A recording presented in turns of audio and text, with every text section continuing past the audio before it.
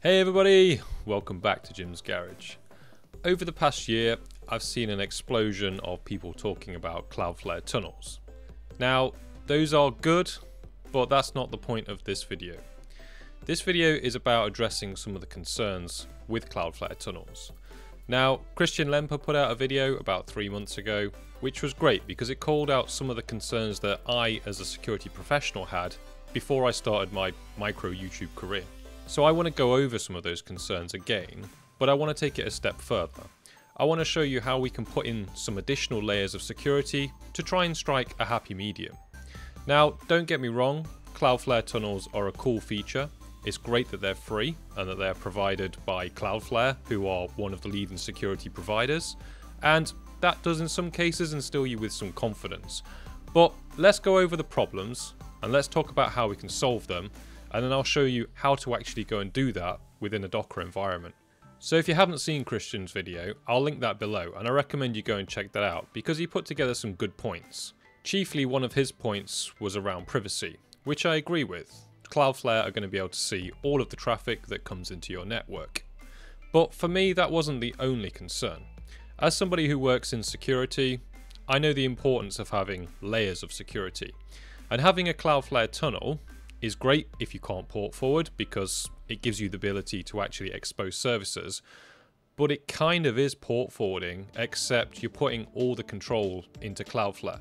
Now, as I said, they are one of the best security vendors in the world, but at the same time, you don't just want to have one layer of security.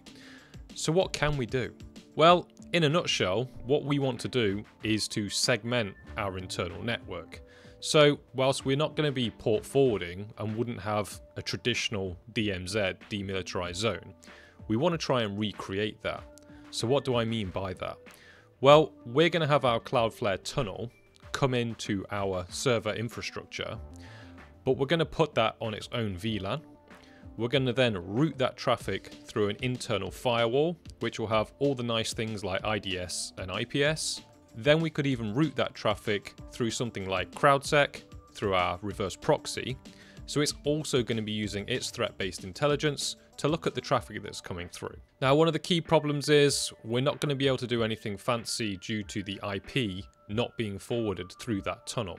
So we don't know where this traffic originated.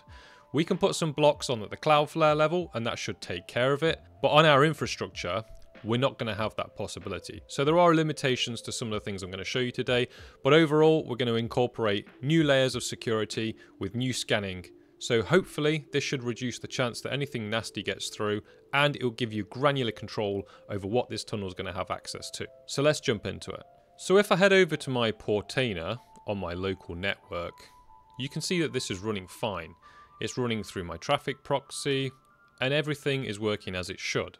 And if I now go over to my virtual machine, which is set up on a VPN using NordVPN, and I try the same thing, that record's not found. That's because the service isn't publicly exposed, it's on a different entry point within Traefik, and also there's no record on Cloudflare, which is my domain provider, to give you my external IP to access this. So there's two barriers to that. So let me show you what happens when I create a Cloudflare tunnel. So if I go over to Cloudflare and go into their Zero Trust module, on the left hand side, if I go into Access, Tunnels, and then add a tunnel, I can start to open up my internal only service to the web so that anyone could reach it. To do that, I'd simply give it a name. I'm going to call it Portainer. I hit save, and then it's going to ask me to install the connector. So in this instance, it's Docker, and it's going to ask me to copy this command and run it. But I'm going to turn this into a Docker Compose file because we're going to need that for my proposed solution. So the key bit here I want to copy is just this bit after the token, which is the token. So I'm going to copy all of this. I'm then going to head over to my Docker VM and I'm going to paste this whole command into a compose file. Now taking that docker run command and composifying it, it looks something like this. Now the reason I've done this is because I'm going to come back to it in a minute and add something called a Mac VLAN. Let's not get ahead of ourselves. So I'm going to save this and I'm going to deploy it. And when I deploy it, it's going to give me access to Portainer on my virtual machine, which is on the VPN, which, as I said, Portainer should not be exposed. Okay, so I've navigated to the same location as the Docker Compose file, and I'm going to run this command. Now that I've run this command, we can go back to Cloudflare, and we can go to the next stage of deployment. Now it's going to ask us to give it a subdomain and what the local IP address or DNS name is. So in this case, it's going to be Portainer. I'll quickly fill that out. So here I've set the details and the important bit is specifying the internal IP address, which I've opened it up to HTTP 9000 for this demo. And with any luck, when I save this tunnel, give it a few seconds to refresh, it should come up here that the tunnel is healthy. We'll see that built. That's good. So now portainer.jimsgarage.co.uk should be accessible from the internet. So let's jump back onto my VM, which has a VPN enabled, and let's just test that. So back over on my VM, I should now be able to hit the reload button, and we should get to the login page for Portainer. And here you can see that I now have access to that internal only service through a Cloudflare tunnel.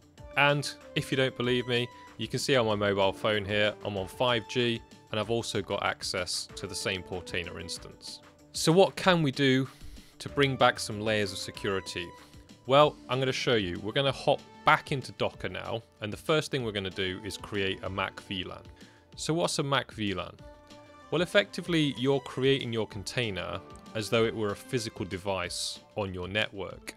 So it's no longer bridging on the host, it's basically being set up as though it's got its own network interface card, and as you can see on the screen, we're able to put it on a separate VLAN and even specify things like its MAC address and its IP address. So when your firewall or switch sees this, it sees it as a distinctly separate device to your Docker host. So to get that up and running, I've got the command here. We're going to create a Mac VLAN. It's come up with a subnet. I've chosen a subnet that I want it on, and this subnet already exists on my firewall. I'll show you the firewall settings in a little bit. I've put in the gateway for that subnet. I've said which is its parent Ethernet adapter. Now you'll need to find this by going onto your Docker host and doing IP A, which will show all your interfaces. If I scroll up here, it's going to be number two in my instance because this is the IP address of the Docker host that I'm using and I know it's only got one virtual NIC which the VM thinks is a physical NIC and it's ENP6S18 that's not a nice naming convention, but there is a logic to that. We'll come on to it on another video. So I need to copy this here, and I need to paste it into here. And now I can run this command in the terminal, and it will create this Docker VLAN. So with that pasted in the terminal, when I hit return, it's going to create the Mac VLAN, and I'll run that now, and I'll show you in Portainer what that looks like. So back over in Portainer, this is what the Mac VLAN looks like, and you can see that those values have been taken and they're now part of this Mac VLAN configuration. So let's head back into the Docker Compose for the Cloudflare tunnel. And importantly, before I did this, I made sure that Mac VLAN 4, i.e. anything on the .4 slash 24 network, cannot reach the 200 that my Portainer is running on. So if we just remind ourselves, Portainer for this demo has been set up on my VLAN 200 with the 200 in the name here. And within my Sophos firewall, I've made sure that Mac VLAN 4, my VLAN 4, cannot communicate to 200 at all. So now back into our Docker Compose file, there's a few tweaks we need to make to this. Basically, what we're going to do is set up this container to go onto Mac VLAN 4. And thankfully to do that, it's really straightforward. We simply need to add this section here, which if you followed my previous videos before, you'll be more than familiar with how the networks work. We've specified a network, it's called MacVLAN 4, we've given it an IP address, you don't have to do that, it will dynamically assign it if you've got DHCP set up on that VLAN, and we've said that it's an external. So now if I go and force recreate this container, we should see that when I refresh the page on my VM, I'm no longer able to access it. So this has now created that container again. So let's head back into my VM and just double check that. So here you can see it's being cached and it's working. When I refresh this, it should come up with a Cloudflare error that's attributed on the right hand side to the host. Let's see if that works. And just as expected, I've got a host error here. Now that's because the Cloudflare tunnel is up and working, Cloudflare end is absolutely fine, but when it gets to my tunnel on my internal network, which is now on VLAN 4, I've specified in my firewall that VLAN 4 can't talk to 200, and so it comes back and says there's an error with the host, which is correct. So how would I fix this?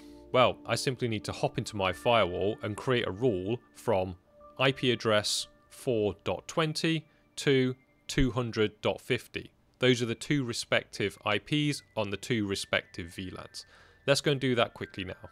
So over on my Sophos firewall, and don't worry, you don't have to be using Sophos for this. Any firewall will work, things like UDMs, etc. Anything where you can specify your own rule sets. We simply want to make a rule that allows traffic from our MAC VLAN 4 to MAC VLAN 200, or whatever it is you're using in your case. It doesn't have to be those numbers. So with this rule here configured, I've called it Cloudflare to Portainer. I've put it at rule position top just for this demonstration, but you choose a suitable location for that. I've said the source zone is a LAN, and this is a Sophos terminology, but the main thing is I've got the source device, which is that 4.20, as you can see on the screen, and it's going to, again, the LAN destination zone, and in this case, it's going to my Docker Proxmox VM, which is the 200.50 you can see on the screen. And the important thing is, it's only allowing it on HTTP traffic, which is going to be on port 80. So now we've got a bit more granular control over what that Cloudflare can access and if ever it were to be breached, it can only reach that machine on port 80.